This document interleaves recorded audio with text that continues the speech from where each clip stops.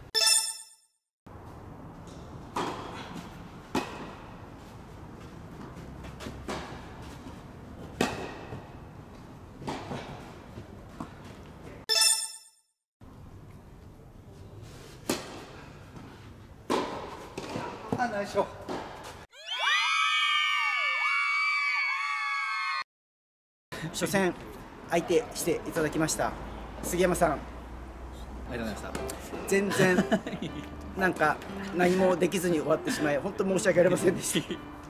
そんなことないです。序盤自分から攻めていかなきゃと思ってちょっと角度つけて打ったりだとか攻撃したつもりだったんですけどもそれが結構あまあまあかなと思ったやつもなんか綺麗にもう返されて途中からもうセンターにセンターに真ん中に真ん中にと思ってやっていたんですけども。徐々に徐々に、まあ、試合の中で少しずつ慣れてきればっていう感じで僕もラリーはしてたんで、まあ、ちょっと来れば合わせるみたいな感じで。あとはまあちょっとこうボールの、ね、深い浅いのうん、その辺のアタックの違いでうん、杉山さん、い。普段はコーチされている埼玉県幸手市ではい。セティブテニス幸手というテニスクラブを運営しております。おおはい。こちら。たまに大会とかもやったり、おお12月30日にはい。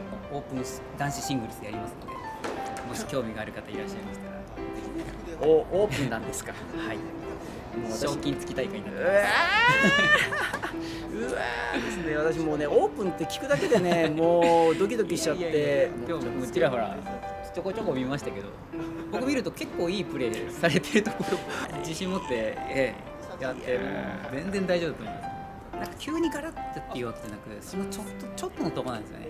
そうですよね。どうも。優勝おめでとうございます。あ優勝。ありがとうございます。優勝しました。さすがですね。任せてください。準決で当たったんですよね。いやいやいやいや。でも血のりを生かしてね。杉山さんホームでプレーコートなんですけど やるといやいやいや。はい。というわけで終わってしまいました。えー、結果としましては062665えー、エキシビやりまして24でした。うーんいややっぱりねオープンとかで出てくる人たちは皆さんうまいですよね。基本的なところ基礎的なところがやっぱり全然うーんっていう感じでした。自分からねいいショット打ってねこれでちょっと追い込んだなーと思ってもしっかり深く帰ってきたりとかしていやいや甘くないですねって感じでした。いろいろとあのーねアドバイスもいただけたりとかしましたのですごく良かったです。勉強になりました。えー最後にちょっと時間ありましたので増田さんとタイブレやらせていただきました。その模様がこちら。森さんやっつけるぞ。おう